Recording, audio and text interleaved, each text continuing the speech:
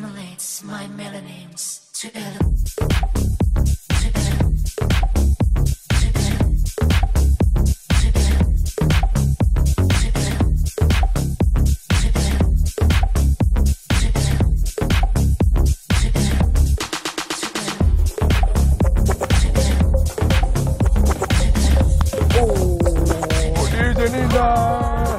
Luar biasa. Ini asik banget nih musiknya nih.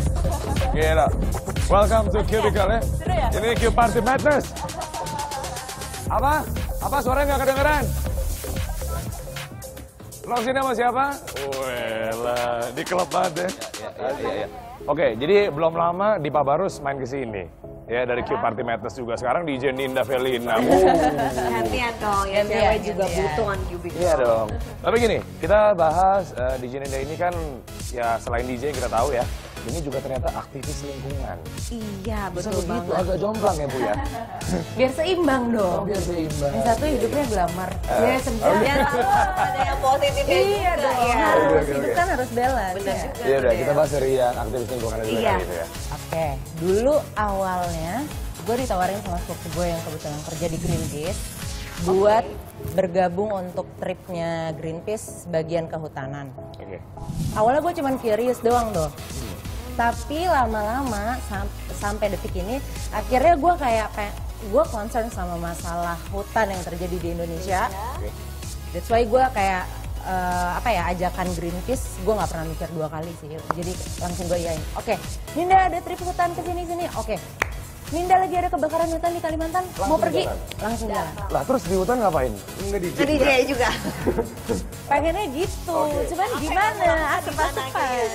Yang gue lakukan di sana observasi hutannya, terus kita brainstorming sama tokoh masyarakat yang tinggal di daerah kebakaran hutan. Oke, di sana ada pengalaman seru nggak sih? Misalnya eh, ketika mendatangkan hutan yang yang kemarin belum lama misalnya kita tahu sama-sama ya Cubers ya, ya pada pembakaran hutan lah misalnya. Itu gimana sih ada pengalaman ceritain dong? Sulitnya apa sih di sana dan kira-kira eh, harus lebih gimana lagi ya? Di sana itu panas banget. Oh, Panasnya- kebakaran Iya ya dong, kan dingin. Enggak, apalagi itu lokasi hutan gambut kayak dua kali lebih panas dari Jakarta. Iya, dari Jakarta normalnya gitu. Jadi kayak dari bawah panas karena kebakaran, dari atasnya juga panas juga kayak sampai ngerasain 30 derajat. Berapa ya? 40 derajatan deh. Saking panasnya ya dan Kayaknya itu gue almost meleleh ya. Dan gue hampir pingsan di situ. Jadi yang kamu lakukan ini kan sebenarnya uh, it's also dangerous ya uh, istilah katanya. Uh, why you wanna do this gitu? Mungkin kalau nge-DJ kan ya uh, asik-asik aja gitu itu ya. challenge sih buat gue.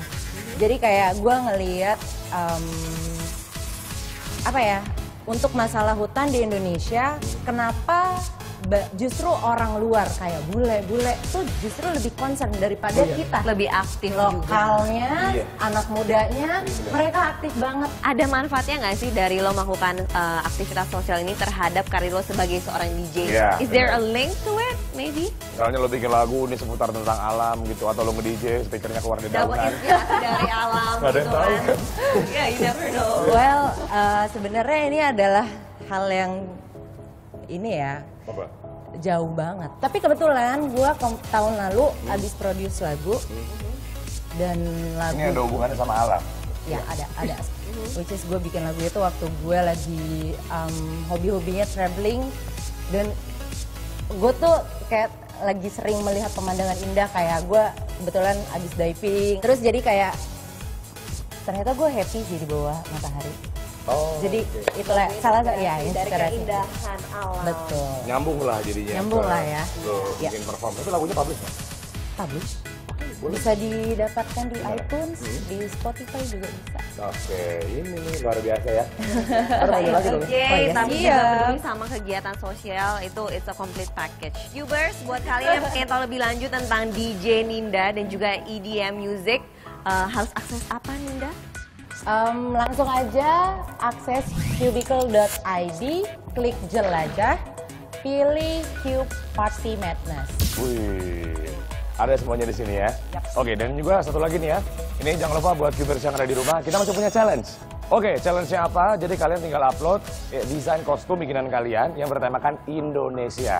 Apa pun itu, misalnya Garuda boleh, merah putih, pokoknya apa pun itulah. Nah ini mention ke Twitter kita, yaitu at eh, cubicle underscore ID dan eh, mention ke at netmediatama menggunakan hashtag cubicle. Dan nanti yang terpilih akan mendapatkan iPhone 6.